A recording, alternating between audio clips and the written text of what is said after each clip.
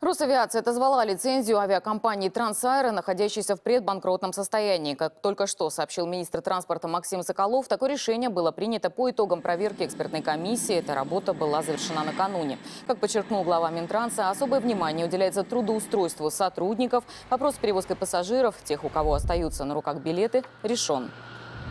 с времени наступления зимнего расписания, как раз 26 октября, когда все э, авиакомпании мира значительно снижают свои объемы перевозок, компании э, Трансаэро, самолеты компании Трансаэро не могут уже э, подниматься в воздух, и э, всех пассажиров, которые имеют на руках билеты, как мы и говорили это, об этом раньше, э, возьмет на себя компания, группа компаний «Аэрофлот», и они будут перевезены непосредственно на рейсах «Аэрофлота» или рейсах других российских авиакомпаний, которые в этой ситуации подставят свое плечо.